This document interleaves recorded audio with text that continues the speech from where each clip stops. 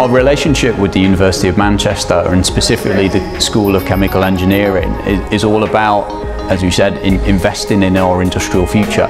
It's about building on the world-class uh, learning and academic facilities that exist here at the Chadwick building and bringing a real sense of industry to it. So by delivering industry leading products and industry leading expertise into the, the control room you can see behind me. Um, so it's in this area that, that we as Siemens provide some real value on top of what is um, taught here at the university. Well, partnerships for the school and for the university are very important. Partnerships are, are, all about being equals, and the way that we operate is that we, we're in the knowledge transfer game. So we like to generate new knowledge. We work with industrial partners to generate that knowledge together and to make that more applied. So the thing is that then we're doing something that enhances both parties. If we look at what we've got within the, the school, we've got the PCS 7 system, which has been provided by Siemens, which is absolutely fantastic.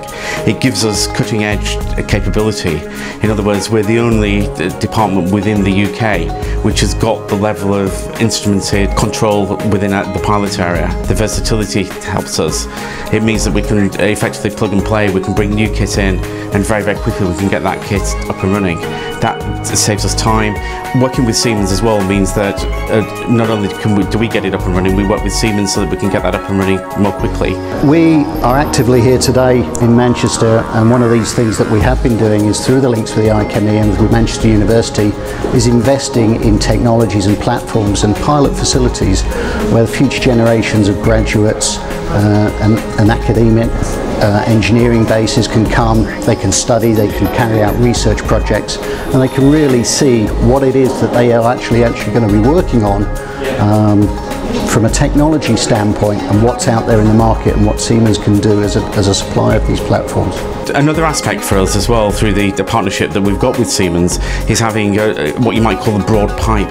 In other words, rather than spending years building up a relationship, a one-to-one -one relationship between members of the university, members of the school and members of Siemens, we've got a single point of contact both sides so that then uh, projects can be initiated and projects can move forward much more quickly and involve the right people